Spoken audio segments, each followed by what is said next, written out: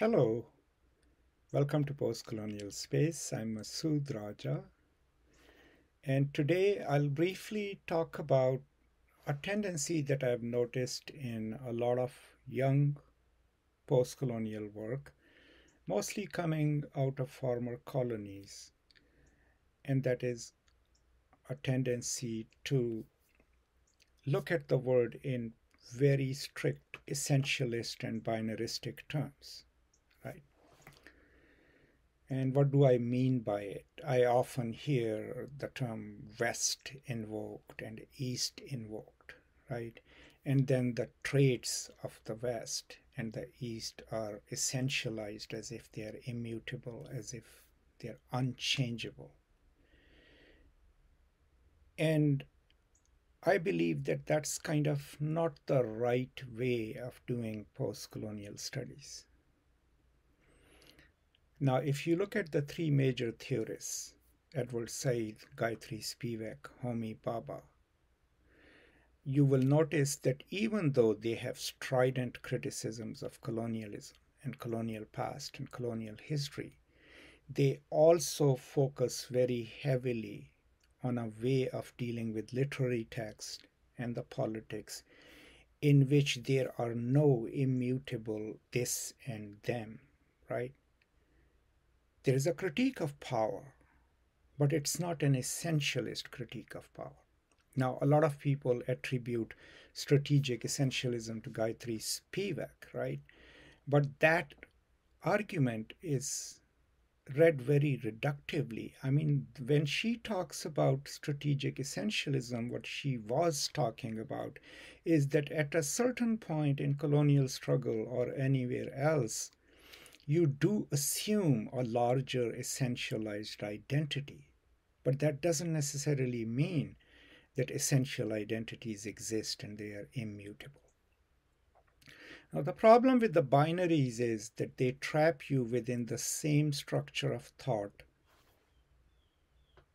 in which the colonizers themselves were trapped, right? And this insight, this viewpoint comes to me of all the places from Paulo Freire. You know, after I read him carefully, I realized that part of what he is trying to do there is teach us as to how to safeguard against essentialisms, but also against these strict binaries, this us versus them mentality. That's why in Freire, if you read him carefully, I think it's in chapter 2, but also in chapter 1, he doesn't only talk about the liberation of the oppressed, he also talks about the liberation of the oppressors because they themselves are caught within the inhumane system that they have created, right? So there is a possibility of incorporating the oppressor, other, into the project of liberation.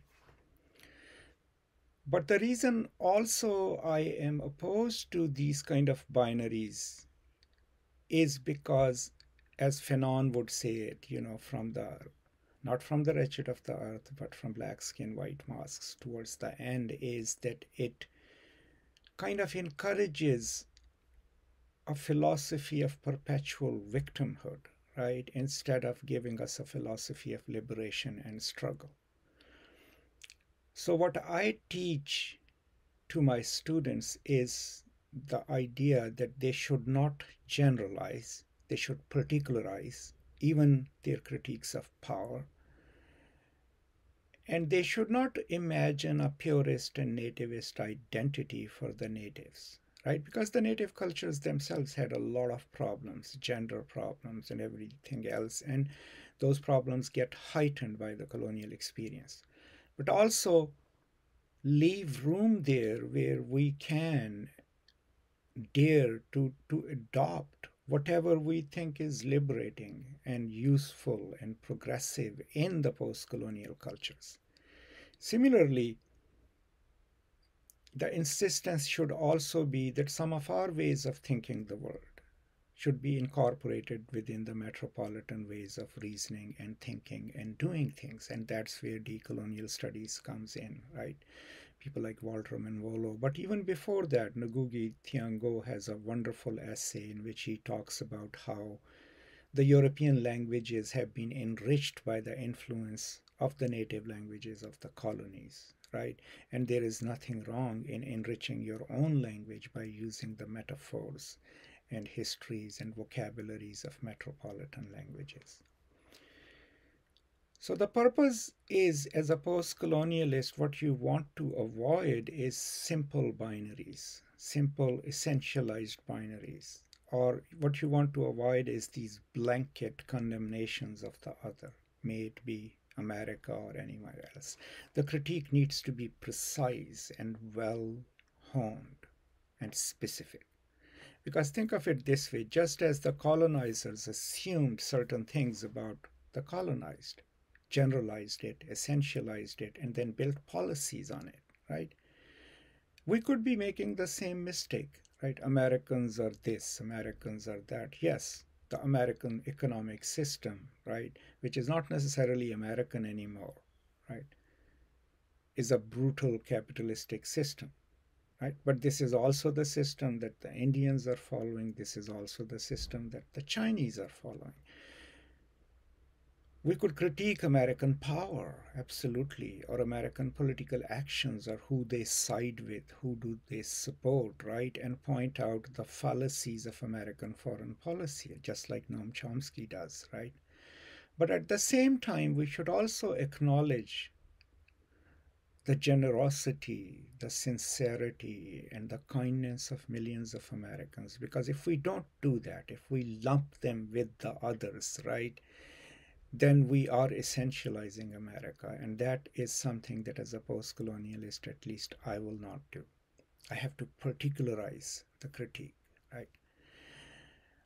Also, I mean, if you look at, let's say, Pakistan or India, these essentialist us versus them vocabularies are used by the fundamentalists, may they be the Muslim fundamentalist or Hindu fundamentalist. They are the ones who rely on these binaries. So if you're a progressive scholar and try to and are trying to articulate a point when you make an argument based on binary structures and strict binaries, those are the people you're aligning themselves with right? Because they are using the same kind of argument. Same on the American right here, racialized right or religious right.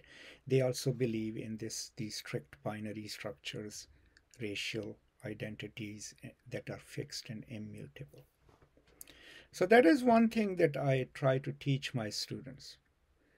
Not to essentialize people or groups of people, and also not just think in terms of the past or simply the present or an immutable divide between East and West, but rather place yourself like Bhabha does, somewhere in the middle, which is more productive, right? Where you can assert that we do kind of work that is changing Western cultures, that is changing at least the academy, and that that kind of work is necessary, right? But then where you're also open to accepting ideas that may come from somewhere else that may not be original native ideas, but that can be tempered, that can be changed, that can be altered to suit the native needs, as long as those ideas are liberating and enable more people to be fully realized human beings in any given society. So these are some of the things that as post-colonialists we ought to do keep in mind and that binary structures, no matter who employs them, are reductive and often racialized and take out the possibility of change and that the biggest place of possibility is where we are open to differences and where we accept anything that is useful from others. Now, if you are looking at the screen, it's my kitty cat who is walking about, right? So these were some of the ideas that I wanted to share because um, I've seen that in Pakistan, at least decolonial studies has become very prominent, right? But in so many ways, the way decolonialism is being articulated, discussed, and talked about is also falling prey to this binaristic structure, may it be historical experience or the present and it is becoming essentialized and mediated through one religion or the other. Same in India. And wherever you see a culture or a debate built on binary structures, on immutable binaries, the tendency tends to be creating this other and then reducing that other as you know this stand in for bad stand in for evil and then mobilizing essentialized native tropes that somehow exist out of time right and can change the world or change our lives. There's another thing eh, when we mobilize essential cultural identities because if you believe in essentialism of that kind so then you can posit we are naturally generous, we are naturally kind, we are naturally attuned to our environment. But at the same time, when you rely on a certain kind of essentialism to make claims of identity, then your opponent's attributions to that identity, which are also essentialized, also become valid.